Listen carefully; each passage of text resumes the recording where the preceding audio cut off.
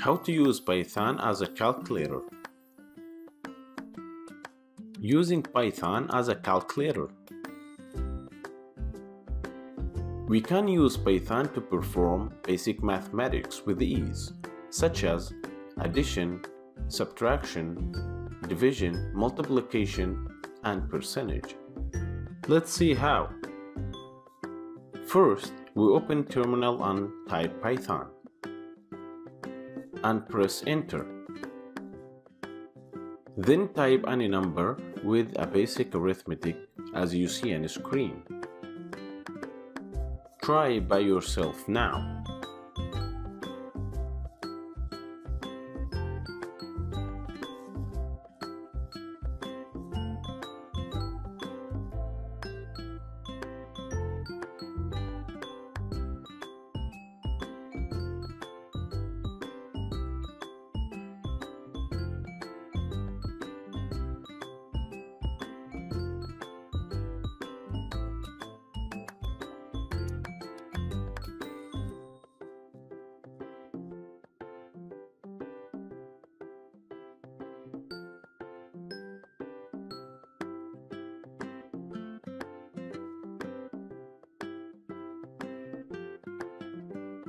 Don't forget the symbol means comment, which the program will not execute it and it doesn't hurt at all.